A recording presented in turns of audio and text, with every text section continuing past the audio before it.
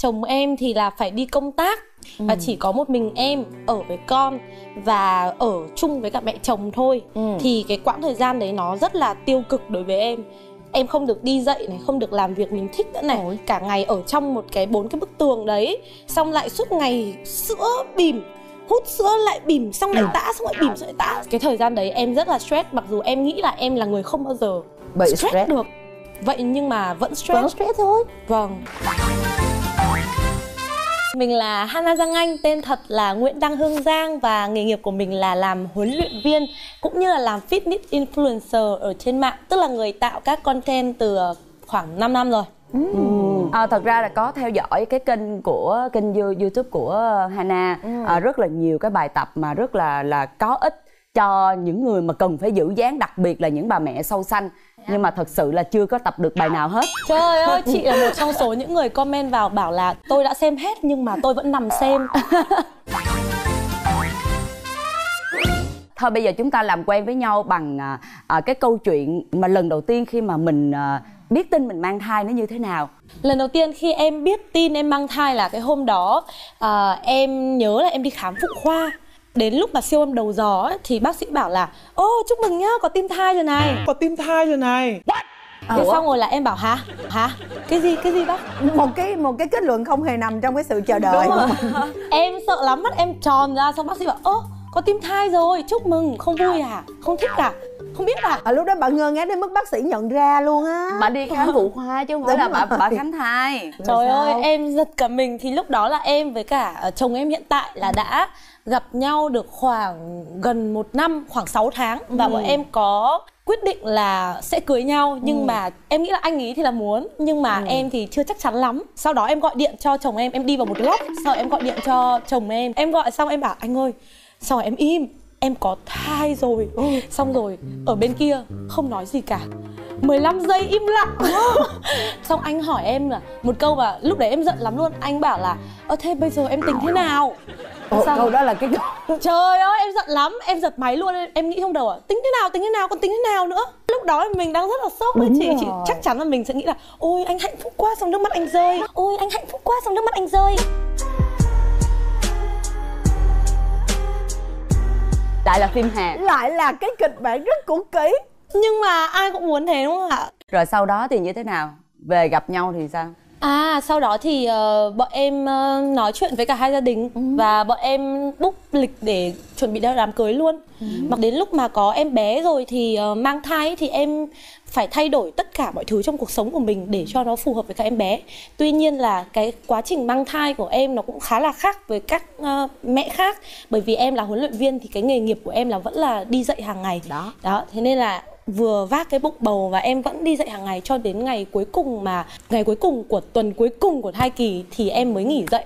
Và em vẫn đi tập rồi bây giờ trong cái quá trình mang thai mình à, vừa mang thai nè rồi vừa đi tập cho người khác như vậy nó ừ. có ảnh hưởng gì tới cái sức khỏe? Có có khi nào mà trong cái quá trình thai kỳ nó làm cho mình bị stress không? Em ờ, không chỉ dạy ờ, yoga mà em là huấn luyện viên group X thì khi đó em sẽ dạy rất là nhiều bao gồm có cả các lớp nhảy các lớp tập cơ các lớp tập bụng các lớp yoga các lớp pilates ờ, cả tập tạ nữa.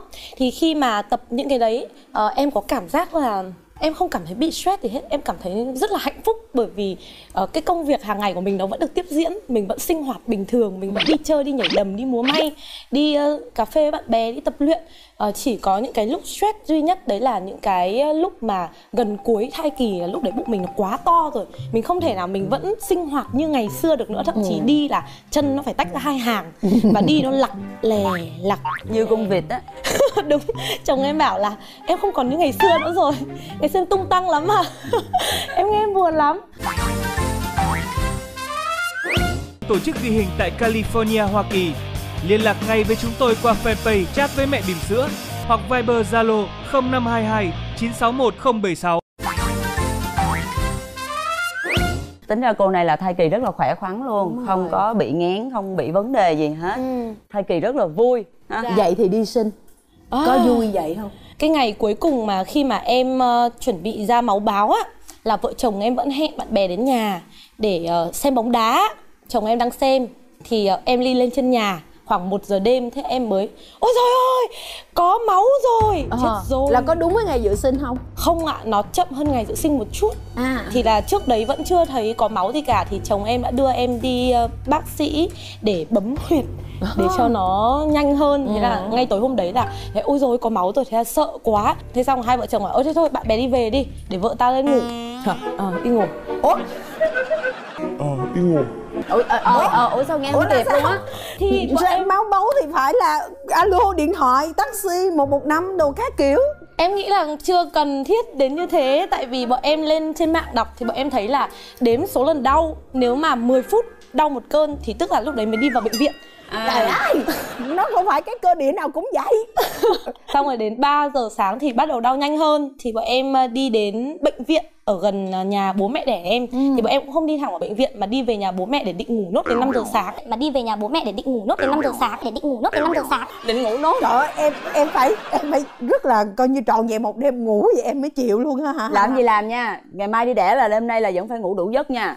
Không thể nào mà cắt cơn ngủ được. Sau đó sao? bố mẹ em đuổi em vào bệnh viện Bố mẹ em bảo là mày bị thần kinh à? Và bố mẹ em đuổi hai vợ chồng em vào bệnh viện Đi vào em vẫn còn Ôi dồi cho người ta ngủ nốt đi. Mệt thế nhở? Không ngủ làm sao mà đẻ? Thế là xong rồi em đi vào. Vào bệnh viện thì đấy cũng đúng như dự đoán là em phải chờ tận một ngày thì tử cung mới mở hết. Và lúc đấy em rất là đau. Em thực sự là em đau đến nỗi mà em muốn nôn ra em nôn ra nhiều lắm. Xong rồi em ờ, đi ngoài nữa. Nó bị làm kích thích cả cái hệ tiêu hóa của em nó đảo lộn á. Và sau đó thì ờm, đến lúc sinh. Lúc sinh thì được cái là cơ bụng em em quen tập cơ bụng rồi thì có cơ trọng tâm ở trong này này nó liên kết với cơ sàn chậu thì em dặn một cái. Bác sĩ bảo nào dặn thử đi. Thì em dặn một cái thế là nó to ra. Và bây giờ ôi cả ekip đi vào đi vào đi vào. Đỡ ngay đỡ ngay. À có nghĩa là ekip chưa kịp vô luôn. chưa em thở là xong rồi. Bác sĩ bảo thở thử đi. Bây giờ bác dậy nhá. Hít vào như thế này này. Xong thở ra nén cái cơ bụng lại dặn ra. Bà thở xong cái nguyên ekip bị chùm mền luôn vậy đó bị phủ đầu luôn nói chung rất là vui. Vui. sau kỷ niệm đó thì em cũng kể với mọi người là các mẹ chuẩn bị đi sinh thì nhớ tập thở và tập cái cơ sàn chậu này. Nó giúp mình rất tốt trong cái lúc mà mình sinh. Khi mà lần đầu tiên em nhìn thấy em bé và ôm con lúc đó cảm giác em như thế nào? Ôi rồi ôi sướng lắm đúng không? Dạ không. Hả? Gì cái gì em không có mối liên kết nào với con của em cả. Ờ. em không hiểu sao các mẹ khác thì thấy tình mẫu tử thiêng liêng thế nhưng mà lúc mà nó chui ra em chỉ có đúng một cảm xúc đấy là xong rồi mặt em đần ra. Em không nghĩ được gì hết. Em có cảm giác là ôi nhẹ bỗng. Chỉ đúng một suy nghĩ đấy thôi. Xong rồi mẹ em ấy cái lúc mà em bé sinh ra thì lúc đấy là chuẩn bị dặn phát là em có cảm giác là em đuổi chồng em ra ngoài. Em bảo là gọi ngay mẹ em vào đây. Tại vì lúc đấy em rất là sợ. Em có cảm giác như là người đàn ông người ta không phải là mình nên người ta không hiểu được cái cảm giác đấy nên em cần mẹ em. Thế xong mẹ em vào mẹ em lấy cái điện thoại thế này nào dặn đi. Chuẩn bị dặn lại một hai ba. Tách. bà ngoại rất chất. Mẹ em không hề an ủi em một câu nào. Và cũng không hề nắm cái tay em một chút nào. Em thích ngoại rồi. Em có cái bức ảnh đấy luôn lúc mà bê em bé ra xong đặt lên trên ngực em này là mẹ em chụp. Thì nó đúng một cục thu lu bác sĩ đặt lên trên ngực em này. Sao em thấy ui sao nó nặng thế? Em mình có thể tả từ khác về con ngoài từ thu lưu được không em? Một cục thu lu đen đỏ đen đỏ hả?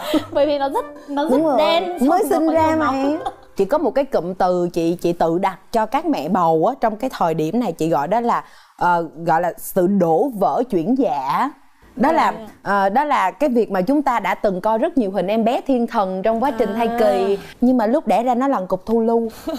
Kiểu như mình bị vụn vỡ mình bị sụp đổ Appetito, siro ăn ngon ba tác động từ thảo dược chuẩn quá châu Âu dành cho trẻ biến ăn. em nếu mà như vậy thì cái chuyện mà chăm con tháng đầu tiên nó có ờ, tình cảm giặt dào chắc là không rồi. Chưa em nhớ tháng đầu tiên là tháng khủng khiếp nhất cuộc đời em luôn. Tất cả mọi thứ em có trong cuộc sống của em mà khiến em vui thì bây giờ nó đều không còn Ê khoan lúc này đã kéo ông chồng vô công cuộc chăm con chưa hay vẫn đẩy ông ra À. khỏi phòng giống như phòng mổ phòng sinh? Dạ, chồng em thì là phải đi công tác và chỉ có một mình em ở với con và ở chung với cả mẹ chồng thôi. Thì cái quãng thời gian đấy nó rất là tiêu cực đối với em. Em không được đi dậy này, không được làm việc mình thích nữa này, cả ngày ở trong một cái bốn cái bức tường đấy, xong lại suốt ngày sữa bìm hút sữa lại bìm xong lại tã xong lại bìm xong lại tã. Cái thời gian đấy em rất là stress mặc dù em nghĩ là em là người không bao giờ Bị stress, stress. được. Vậy nhưng mà vẫn stress vẫn stress. thôi. Vâng. Sau đó thì ờ, khoảng con khoảng 5 tháng thì bọn em chuyển ra ngoài ở riêng. Ừ. thì ờ, con lớn thì mình cũng học được cái cách sắp xếp cuộc sống cho nó phù hợp với việc chăm con thôi và khi em chăm con như vậy thì em cho em bé uống sữa của mình hay là sữa công thức? À em cho bú sữa mẹ nha. Nhưng mà em hút sữa ra này Xong rồi ờ, em cho bú bình. À. Tại vì em tránh cái sự phụ thuộc của em bé vào mình. Em đã chuẩn bị sẵn một kế hoạch dài dài cho em rồi. Cô này cũng có cái tư tưởng rất là giống Lan. Ngày xưa lúc mà chị Xanh cũng vậy á, là trước đó cũng đã tính rồi là mình sẽ cho con mình ờ, bú sữa của mình nhưng mà mình sẽ hút ra bởi vì tránh cái chuyện là nó bệnh hơi á. Rồi sau này mình không đi làm được bởi vì đây toàn là những người phụ nữ ham công tiếc việc không à. À, cho nên là. Vẫn uống được sữa mẹ nhưng bú, uống bằng bình. Đúng. Với cả em bé cũng độc lập hơn ấy. Đúng Khi rồi. nào mà nó thích thì nó tự cầm bình nó bú Mà đâu cần phải e, e, e, Xong chờ mẹ dí vào đâu. Đúng, đúng rồi. Sức khỏe của em ờ, sau sinh á em có phục hồi nhanh không? À sau sinh, sau sinh Ui rồi ôi cái bụng em nó chảy ra.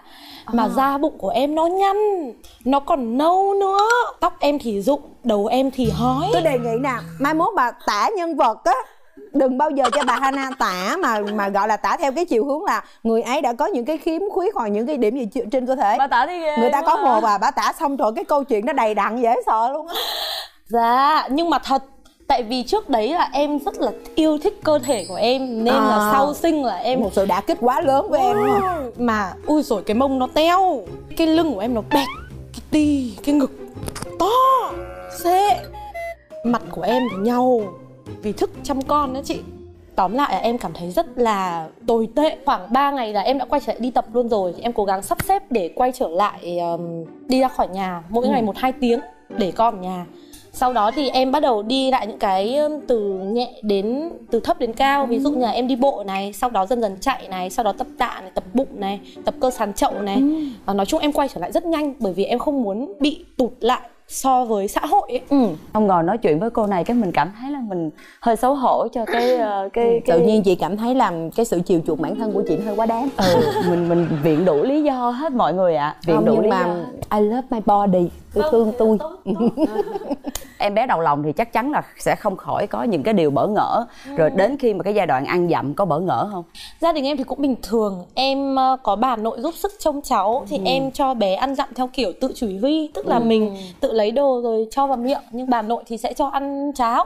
Đấy nhưng mà em cũng cân bằng thôi. Ví dụ hôm nào em cho ăn thì đây con ăn như này hôm nào bà cho ăn thì con ăn như thế kia. Con em thì ờ, linh hoạt nhưng mà lười ăn rất lười ăn. Và ờ, chính bởi vì em bé lười ăn mà lại hai kiểu như thế nên là nó không có kiểu nào nó ra hồn và hiệu quả hết. Thế nên cuối cùng thì ờ, em cũng quyết định là để cho ông bà cho bé ăn. Thì hôm nào mà ông bà cho bé ăn được tuần nào mà bé được ở với ông bà thì bé trộm vía rất phúc pháp. Còn bé ở với em thì ông bà sẽ kêu là ôi rồi ôi trông kìa lại tóp teo. Trông kìa lại tóp teo. Vậy thôi em chấp nhận điều đấy. Ừ, kệ con. Con năm nay là bao nhiêu tuổi rồi bé nhà em là 3 tuổi rưỡi gần 4 tuổi. 3 tuổi rưỡi gần 4 tuổi. Vậy thì trong suốt 3 năm mình chăm con gần 4 năm mình chăm con như vậy nó có một cái sự cố nào xảy ra không? Ừ, em nhớ có một hôm sự cố buồn cười nhất mà thót tim nhất là em bé này bị lạc đấy chị. Ồ. Ôi rồi ôi em sợ lắm. Lúc đấy là có chồng em và em uh, Trông bé và một ờ, em bé của bạn em nữa. Đấy thì ờ, vừa mới quay ra trông bé bạn xong Thì quay không thấy con mình đâu nữa. Lúc đó là đang ở đâu? Ờ. Đang ở cái sân khu vui chơi ở dưới chung cư Thì ờ, cái chung cư nhà em nó là khu vui chơi ở trước mặt đường Đằng sau nó là cả cái chợ này Nó là Ồ. nó không tách biệt Ồ. Nên nó rất là nguy hiểm. Đúng Nguy rồi. hiểm. Bọn em chạy lồng lên đi tìm khắp cả cái chợ luôn. Cứ hỏi xem là có bé nào mà kiểu lót chót như này đang đi không Không ai tìm thấy cả. Là bọn em rất là sợ. Đến lúc mà em quay trở vào trong cái khu chung cư Thì thấy bé đang đứng ở trước cửa thang máy. Thì là hóa ra bé đi ngược quay trở lại vào trong đấy. Mà may quá không đi ra ngoài đường. Bọn em rất là sợ luôn. Bao lâu cái cái cái cái cuộc tìm kiếm đó nó kiện diễn ra bao lâu? Chắc nó chỉ khoảng 10 phút thôi Nhưng mà bọn em sợ lắm. Không em cảm nhận được mặc dù em chưa trải qua chuyện đó nhưng mà lan cảm nhận được những chuyện đó trong cái sự tưởng tượng của mình bởi vì lan luôn tưởng tượng là mình một ngày nào đó mình làm lạc mất con. Trong đầu em có thể tưởng tượng ra được một một ngàn lẻ một kịch bản. cái cái kịch bản mà nguy hiểm đến con em chị ơi. Cho nên mà lần nào tưởng tượng xong là nước mắt em cũng rớt đó cho nên em cảm nhận được cái cái cái cái cảm giác cái tâm lý của bạn này lúc đó. Đúng rồi. Sau vụ đó là em làm nó một cái dây chuyền Có tên và số điện thoại của mẹ đeo ở đây đeo luôn không nói nhiều. Nhưng mà đúng là đó là những cái sự kiện để mình thay đổi hành vi đúng không? Vâng. cho nên là cái gì trải qua thì nó không có giá của nó hết á. Ừ, đều làm cho chúng ta trưởng thành hơn Bây giờ là chúng ta sẽ chuyển qua một cái phần gọi là rất là thích thú đây. Đây là phần này không liên quan tới con nữa dạ. Mà liên quan tới vợ chồng. À. À, một những cái người mà làm huấn luyện viên như thế này á, thì thường sức khỏe của họ sẽ ờ, rất là tốt và họ sẽ dẻo dai và những cái vấn đề về chuyện vợ Rồi, chồng thì lại có lẽ nó cũng khác lắm. Cái gì? Cho nên rồi là đó em hiểu rồi đó. Sau khi mà mình sanh xong thì dĩ nhiên là sức khỏe của người phụ nữ sau sanh nó sẽ ảnh hưởng đến những chuyện đó nhưng với gia đình của em thì nó có ảnh hưởng nhiều hay không em nhớ là sinh xong khoảng một tháng là em ờ, book lịch chồng rồi. Bút lịch bút lịch rồi đó bây giờ chồng em bảo là thôi cứ từ từ em ạ. Nhưng mà em bảo không em book tối nay em không thể chờ đợi thêm được nữa. Cái tâm lý của em lúc đấy là em không muốn bị bỏ lại đằng sau. Em không muốn mọi thứ nó dừng lại với em. Nên là mặc dù mình cũng chưa cảm thấy thực sự là muốn lắm về mặt thể xác nhưng mà cái tâm lý này Em này muốn mọi thứ phải quay trở Đúng, lại tôi muốn tối nay ngay tại thời điểm này trên cái giường này. Anh chuẩn bị đi. Và lúc đấy thì em có cảm giác là ừm, khi mà sinh xong có phải là bác sĩ khâu thẩm mỹ lại cho mình không? Em có cảm giác bác sĩ khâu luôn cả cái tử cung của mình. Tại vì là nó rất đâu là mà? chặt nó Ờ. rất là khít. Các chị có thấy thế không? Có nghĩa là em cảm thấy Không đau. nhớ nữa. vấn đề là tôi sinh mổ. À chị sinh mổ á vấn đề là cũng không xưa nữa em nó sẽ cực kiểu khác. À thế ạ. Em cảm thấy sau khi mà sinh xong thì phụ nữ bao giờ cũng bị giảm cái hormone tiết tố nữ estrogen. Thế là mình mới bị rụng tóc này sạm da. Thì tương tự là mình cũng sẽ ít điện nước hơn. Mình không còn dồi dào nữa. Mình chỉ muốn thôi. Nhưng mà thân xác của mình nó không muốn. Đúng đúng. Vậy là bọn em cứ đều đặn đều đặn. Để gây dựng lại cái cái cái cái hoạt động của cơ thể. Vâng chị nghĩ là em nên chia sẻ những cái bí quyết nào đó để cho các chị em ờ, có thể bút lịch dễ dàng. Đúng rồi có thể bút lịch dễ dàng và tâm lý của họ cũng thoải có mái thể nữa. mức lịch dạ em cũng hay um, quay những cái tập sex education ở trên youtube ấy. Có hướng dẫn các chị em phụ nữ không phải là cái kỹ năng làm tình mà là ờ, cái cách sự chuẩn bị Ừ, cái cách để chúng ta cảm thấy hạnh phúc khi mà làm tình. Tại vì đối với em thì làm tình nó là tốt cho tâm lý của mình chứ không phải là để phục vụ hay là thực hiện nghĩa vụ của vợ chồng. Đấy nên là em mới gọi là em book lịch chồng là như thế chứ không phải là ờ, trả bài. Đôi khi em có chia sẻ là chúng ta không thể nào mà cả hai người cùng bị động được. Ví dụ bây giờ chị tưởng tượng là mình với chồng mình ăn nằm với nhau. Đến đầu bạc răng long là hép sách mấy nghìn lần. Cùng với một người trên cùng một cái giường đấy. Trời ơi nếu là em thì thật em chán không thể tả được luôn. Vậy thì chúng mình phải nếu như mà anh ý chủ động một vài lần thì mình cũng phải chủ động thậm chí là nhiều lần hơn. Ờ, tôi muốn nói thêm một tí sau cái chia sẻ của Hannah thực ra chúng ta khoan hãy viện dẫn những cái yếu tố thuộc về đạo đức ở đây. Hannah đang nói rất đúng về cơ chế tâm lý Heo xét mấy nghìn lần với đúng một chủ thể tâm lý trên cùng một không gian. Bây giờ hỏi thiệt quý vị ăn một món mà cho quý vị ăn trong một năm. Trên đúng cái bàn ăn đó thì nói tới chuyện ăn Tại vì đói bụng ai cũng đói hết á. Đúng đúng. Chịu nổi không? Thế thì câu chuyện ở đây nó sẽ là cái việc là chúng ta cần phải có những cái gọi là những cái sự sáng tạo trong đúng cái cuộc sống hôn nhân. Đúng. không chả phải phục vụ cho ai hết phục vụ cho mình. Và sau đó sẽ là cái câu chuyện của chung. Đó là giữ gìn hôn nhân của cả hai. Hay quá hôm nay ngồi nghe được những cái đây là cái câu chuyện mà lần đầu tiên được em được Vậy nghe. sao? đúng rồi lên kế hoạch bút lịch trong vài năm tới. Ở đâu ra? Rồi bây giờ thì nãy giờ không có nghe nói về ông xã nhiều. Dạ. như vậy thì bây giờ ông xã ông có cái tật xấu gì không? Ơ thế các chị có đoán được là tôi ông- cảm thấy bắt đầu lo đó cái gì mà xấu xấu mà kêu Hannah tả là xấu không thể nào chấp nhận được luôn á. nhưng mà các chị có biết là chồng em làm nghề gì không? Cho các chị đoán chưa, thử. chưa biết nha chưa biết. Em nghĩ bạn này là làm về huấn luyện viên ờ, về thể hình như vậy thì chắc ông xã là làm về giống như là đi set up mấy cái chuỗi ờ, của các phòng tập á. Em sai rồi. Em sai sai. có những cái đứa không bao giờ cùng nghề vẫn lấy nhau. À, và đặc biệt ví dụ như chị nói với em nghe chồng chị làm nghề gì nè? Chồng chị là huấn luyện viên điền kinh đó. Ôi trời em ơi. nhìn chị đi nó liên quan gì hết á. Em xin lỗi chị. Em sai. Nhà em cũng giống như nhà chị. Ủa vậy hả? em làm huấn luyện viên thì chồng em làm về nghề tài chính lại còn làm trong lĩnh vực nhà nước nữa. Em có bắt chồng tập không Ờm, không ai có thể bắt được người khác làm cả chỉ là mình ảnh hưởng người ta thôi tức là ngày nào mình cũng làm cái đấy xong mình ra giải với cái đấy mình truyền cái năng lượng tích cực thế là nó cũng biến chồng em thay đổi hoàn toàn cái thói quen sống Đồng ý. tất nhiên là cái công việc của anh ấy thì không thể nào mà không nhậu được Đúng. hay là thậm chí anh còn người rất thích nhậu Ừ. rất thích bạn bè rất thích đi chơi nhưng mà nhờ có em ở bên cạnh em sống cuộc sống của em nha. Ừ. ảnh hưởng lên anh ấy thôi. Thì anh ấy tự có kiến thức về cái việc sức khỏe. Xong rồi bây giờ anh sẽ là người mà hay đi ra giả các anh đồng nghiệp khác về việc là Tập trưa đi. nay ăn đừng có mà ăn nhiều cơm như này nhá. Ui rồi cái đồ này mỡ quá ăn nhiều rau lên. Đó và cũng đi tập. Từ hồi mà yêu em thì anh ấy từ một người mà rất là gầy thì bây giờ anh ấy mặc áo sơ mi. Chị có biết cái kiểu mặc áo mà nó nứt ngực không Liệt tít kìa. À, đó. không đẹp lắm đâu nhưng mà À. nó cũng nứt một chút nhưng mà được ông xã em có khi nào mà phụ em để chăm con hoặc là thay tả cho con hoặc là cho con bú giùm em hoặc là um, vô bếp được không cái này là cái điểm mà em không hài lòng nó gài gài thôi là ra à gài gài Gài thôi là ra. à Dạ, đúng đấy. À, chồng em thì không bao giờ giúp em rửa bát, nấu cơm và đặc biệt anh ấy còn bảo là anh ấy bị dị ứng với mùi phân của trẻ em. Mà lúc đầu em còn bảo là thôi anh anh vừa vừa phải thế nào dị ứng. Bắt làm. Anh ấy mở ra rồi. Đau khổ. Ôi lúc đấy em bực mình lắm chị À. ơi. Em nghĩ là anh ấy anh ấy công từ bột đấy chị. Nhưng mà không anh ấy oẹ thật. Mà anh còn cố để thay cho xong Rồi anh chạy vào nhà vệ sinh lại, như này. Em buồn lắm chị ạ Em bị tổn thương sâu sắc. Có giận không?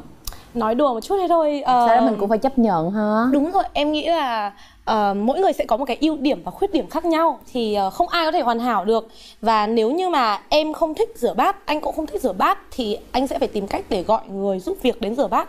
Miễn làm thế nào cái hòa khí gia đình nó thoải mái và công việc nó vẫn được hoàn thành. nhưng cái quan trọng là anh có muốn giải quyết vấn đề à, là bát dơ anh vẫn tìm cách để rửa anh không bắt mình rửa là được rồi Đúng rồi, cái chuyện bắt nhau mình Đấy. không bắt được anh ý thì anh không bắt được mình đúng không rồi chị? đó không có bắt được gì hết á nhưng mà giờ tôi bắt cô nè Ôi dạ. nhắn gửi gì cho ai đó nhắn gửi đi